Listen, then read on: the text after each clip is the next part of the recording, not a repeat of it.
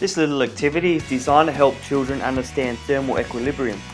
The common misconception is that when hot things cool down they become warm and when cold things warm up they become cool, instead of changing to the temperature of the surrounding space.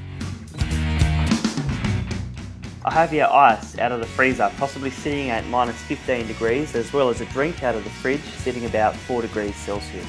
When I mixed the drink, the drink came up to about 2 degrees Celsius.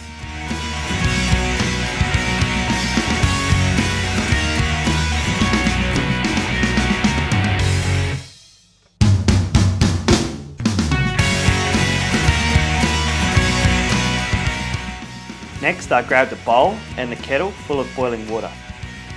The water in the kettle is about 100 degrees Celsius.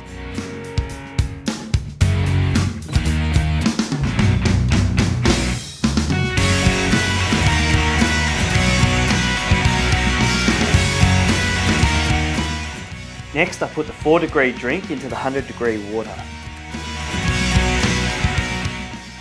What can be observed here is the outside bowl of hot water losing heat and the inside glass of cool drink gaining heat.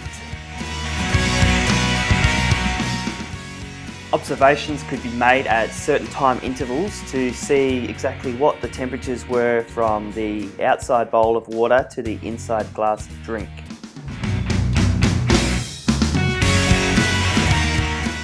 What could be observed is that the temperature changed dramatically in the beginning, but as it reached thermal equilibrium, changed slowly.